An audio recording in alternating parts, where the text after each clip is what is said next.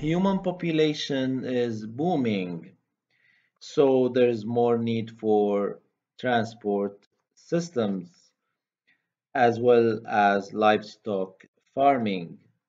More production means more industrial smoke, more garbage, and accidents might happen. Add to them dumping sewage in rivers, using excess fertilizers, herbicides, and pesticides not to mention the nuclear activities and the nuclear fallout. All of these are human activities. Natural activities like volcanic eruptions and forest fires, all of them together they cause pollution. Now it's time to ask you, what is pollution? It's the presence in or introduction into the environment of a substance which has a harmful or poisonous effects. Now we know what pollution is. So what are the types of pollution? Water pollution, air pollution, soil pollution. Do you think this is all? This is not all. Light pollution. Yes, light pollution. You see these lights? these lights prevent us from seeing this, the stars in the sky and this is another type of pollution also this is not all we still have noise pollution as well all the cars the noises uh, from the traffic from outside this is in the city this is noise pollution as well but in this video we will focus only on the first three the water air and soil pollution so what are the causes of water pollution? Fertilizers, herbicides, pesticides. Fertilizers or excess use of fertilizers may leach into the water, nearby water rivers and cause eutrophication. Herbicides and pesticides also might pollute water. Acid rain. The nitrogen oxides and the sulfur oxides from the car exhaust and from the factories, those, those uh, rise into the atmosphere, accumulate in the atmosphere, they react with water in the atmosphere and they become acids, nitric acid or sul and sulfuric acid. And when it rains, they will precipitate and will be uh, pollutants for water and they might damage or they will damage and affect the marine or aquatic life. Another reason here or another cause for water pollution is oil spills usually oil spills from accidents or oil tanker accidents or um, uh, refineries accidents, pipeline accidents, this highly pollute water as well. This is not all. Factory wastes and harmful chemicals which are dumped into the nearby water, they are major pollutants as well. Nuclear wastes, nuclear fallouts are another cause of water pollution. On the list, we still have sewage. Sewage is a main water pollutant. It contains ammonium, domestic household feces. This causes eutrophication of water. And the garbage is the last on the list, especially plastic, which kind like kill maybe uh, marine animals and aquatic animals. And garbage, as you can see in this photo, it really covers the surface of water. So the list again, fertilizers, herbicides, pesticides, acid rain, oil spills, factory wastes, nuclear waste, sewage, and garbage. So now we know the causes of water pollution. We talked earlier about eutrophication. Look at this photo here. At the surface of water, you see those this green cover. This green cover you know what is it? This is algae.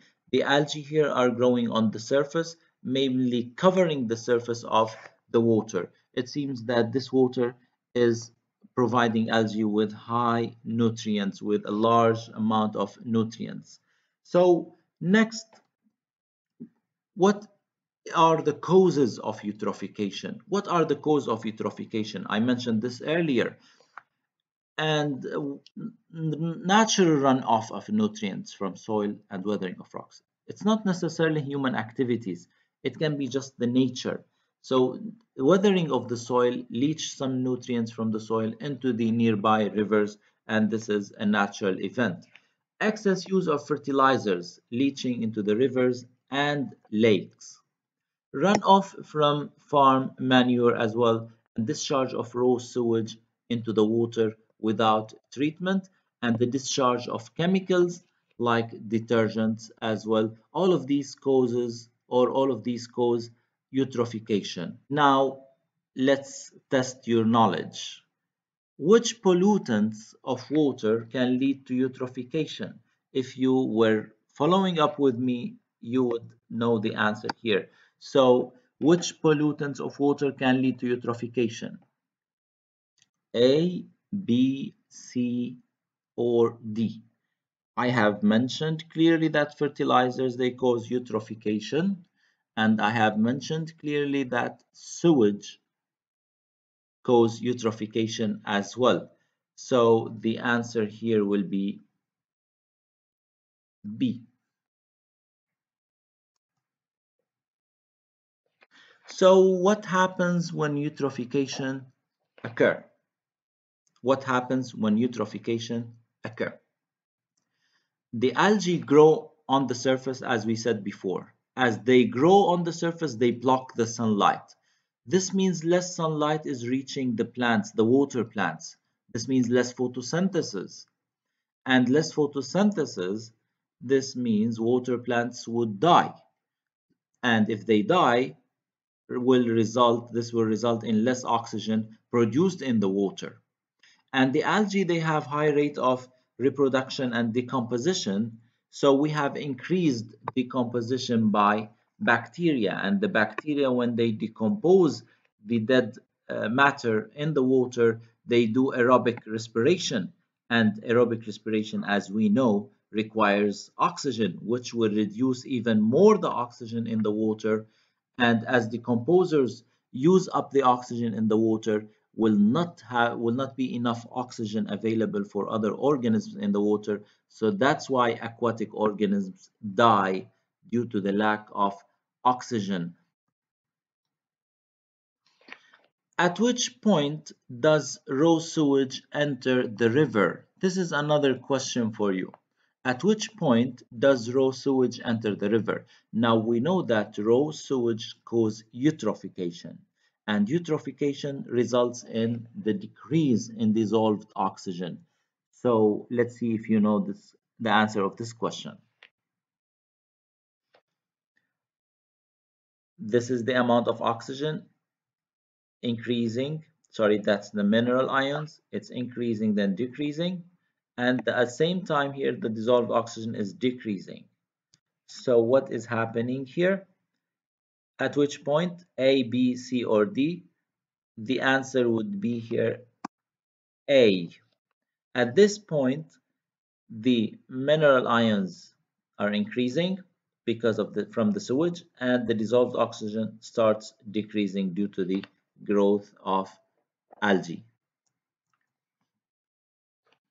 So what can we do to reduce the chances of eutrophication? What can we do? Farmers, what can they do to reduce the chances of eutrophication? So we need to use less or correct amount of fertilizers. And we need to treat the wastewater before dumping it into the rivers or do not dump it at all. Use slow release fertilizers. So the farmers, if they use slow release fertilizers, the fertilizers take more time to be released in the soil. And most importantly, when we apply these fertilizers, we cannot apply them during rain and we need to limit the watering. So the fertilizers stay more time in the soil and the last here do not use fertilizers near water if the farm is near water uh, body better not to use fertilizers and only apply when crops will take up fertilizers there are certain times during the season that crops absorb fertilizers, it's better to apply those fertilizers during these times, not at any time, not a random time. What do we call this facility? This is a wastewater treatment plant. It's a wastewater treatment plant. From its name, it treats sewage water. So why wastewater must be treated before reusing it? Why it must be treated? Remember, it's a sewage water. It contains sewage. And it contains harmful pathogens from feces, contains harmful chemicals from detergents. It's household detergents. It contains drugs and hormones. And the pH of the wastewater is too low. So this wastewater must be treated before reusing it in agriculture or in other uh, aspects or functions.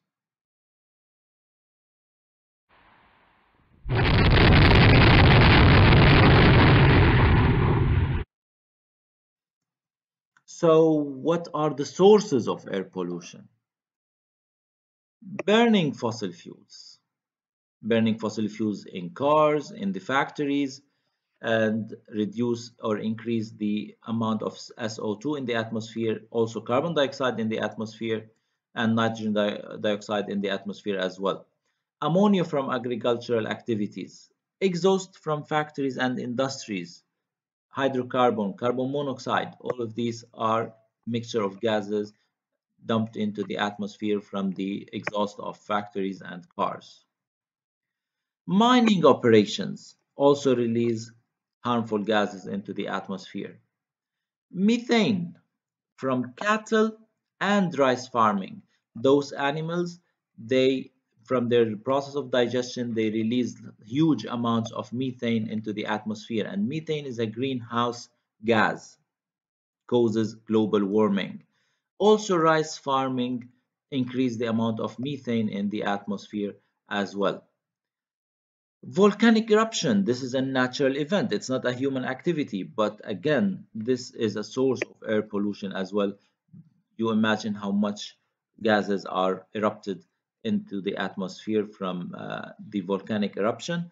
Add to them the forest fires. Too much carbon dioxide is uh, also released into the atmosphere from the process of combustion of wood or forests. Now, what are the effects of air pollution? Effects on human health, respiratory and heart problems. It causes acid rain.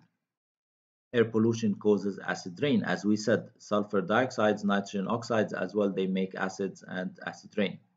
Eutrophication. That's another effect of air pollution. We did talk about eutrophication earlier in this video and most importantly here global warming. The carbon dioxide and the methane are greenhouse gases and these trap the heat around the earth heating up the earth increasing the average global temperature which is global warming. And there's also there are effects on wildlife and the depletion of the ozone layer as well. All of these are effects of air pollution So what are the solutions for air pollution? Are there solutions? What can we do? The first is instead of using your car, use public transport. This bus like can accommodate maybe 50, 40 to 50 passengers. Instead of using 40 to 50 cars, we use just one vehicle. Conserve energy. Use less energy. Try to conserve energy for future and the three R's, reuse, reduce, and recycle. We can use clean energy instead of burning fossil fuels. Windmills, solar panels. We use catalytic converters as well in industries and factories. So reduce the gas emissions into the atmosphere and international treaties that uh, agree on reducing gas emissions in general into the atmosphere. All of these reduce air pollution. What are the causes of soil pollution? So we did talk about air pollution, water pollution, now soil pollution. What are the causes of soil pollution? Solid wastes, garbage, agriculture practices like fertilizers, herbicides, pesticides, chemical wastes from nearby industries, radioactive wastes, nuclear fallouts, mining as well, construction activities and construction wastes, natural causes like volcanic eruptions, acid rain as well decrease the pH of the soil. What are the effects of soil pollution? The pass toxins to human health like soil pollution, soil contain toxins. These toxins are absorbed by plants. We eat plants, so the toxins are passed to humans. It harms microorganisms living in the soil. So they it might damage them, kill them, and it reduces the crop yield. If the soil is not rich in nutrients, this will reduce the crop yield. And reduction as well in plant fertility, which is related to crop yield as well. Contamination of underground water, because those pollutants, if they leach with water to the underground, they pollute the underground water as well, in addition to changing the soil pH, decreasing the soil pH, especially if it's caused by acid rain. Look at this photo. Tell me what do you see here? Plastic, plastic, garbage, non-biodegradable plastic non-biodegradable. This means it does not degrade easily in the nature. What are the effects of non-biodegradable plastics on terrestrial ecosystems so how non-biodegradable plastics affect terrestrial ecosystems you might be asked this question so first and obvious it's visual pollution it's not nice. And when eaten by animals, it blocks the digestive system of animals. And when it reacts with the other substances in the nature, it releases toxins in the soil and the air. Also, as you can see here, the plastic covers the surface. It's a habitat destruction. Also, the toxins accumulate in animals. If it covers the surface, it blocks sunlight from reaching land plants for photosynthesis, prevents root growth, and as I mentioned earlier, it remains in the ecosystem for a long time. It does not degrade easily in the nature. It kills animals also that are trapped inside the plastic. We're talking here about insects and small animals. Acid rain. I did talk about acid rain earlier. So acid rain is caused by oxides from the car exhaust, uh, oxides of nitrogen, oxides of nitrogen and sulfur also from these factories and the, the industries. All of these accumulate in the atmosphere. They react with water in the atmosphere. They make acids and uh, with precipitation, it goes back to the surface of the earth. Acidic, low pH, that's why it's called acid rain. So what are the effects of acid rain on the environment?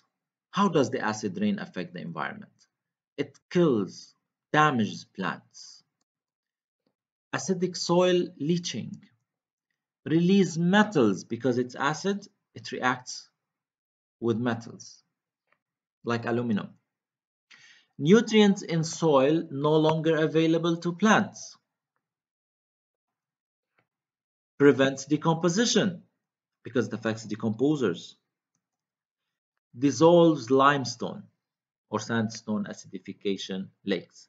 These are the effects of acid rain on the environment, not to mention that it has many effects on cars and buildings as well. And all of these at the end will affect the aquatic life. Freshwater invertebrates die because of the low acidity of the water. So how to reduce the effect of acid rain. What can we do to reduce the effect of acid rain? Technically, we need to reduce the, the pollution in the air and the substances, the release of the substances that cause acid rain in the first place. And these are, here we can add limestone to lakes, rivers, and soils. This will reduce the effect of the acid rain. Use less fossil fuels. When we use less fossil fuels, this means less sulfur uh, oxides and nitrogen oxides are released into the atmosphere. Use low sulfur fuels. And here, pay attention, we are using less fossil fuels. We cannot say use no fossil, fossil fuels. Don't use fossil fuels. No, we, we cannot just not use fossil fuels. We need to use fossil fuels, but we use less. Use wet scrubbers as well. Use catalytic converters in industries and cars. Use electric cars instead of cars that use fossil fuels. And again, international treaty for reducing emission of gases. All of these at the end will reduce water pollution and will reduce acid rain and the effects of acid rain as well. That's important to know. So after, after doing or talking about all the aspects of pollution and different types of pollution, I want you now to complete this table. In one side, you have pollutant, the source, and the effect of the environment. What is the pollutant that goes acid rain, and what is the source of this pollutant? What is the source of carbon dioxide? And the carbon dioxide enhanced greenhouse effect. And what is the pollutant that also from cattle and rice and cause enhanced greenhouse effect and what is the effect on the environment from using excess fertilizers i think you know it right eutrophication there so here are the answers and this is pollution for IGCSE thank you for watching. Do not forget to subscribe to the channel to get more videos. Thank you.